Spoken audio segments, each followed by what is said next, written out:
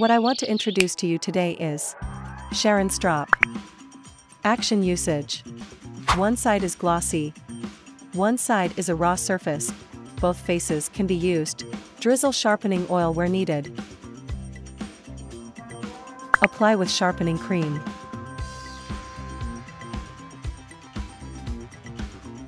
Then you can start grinding.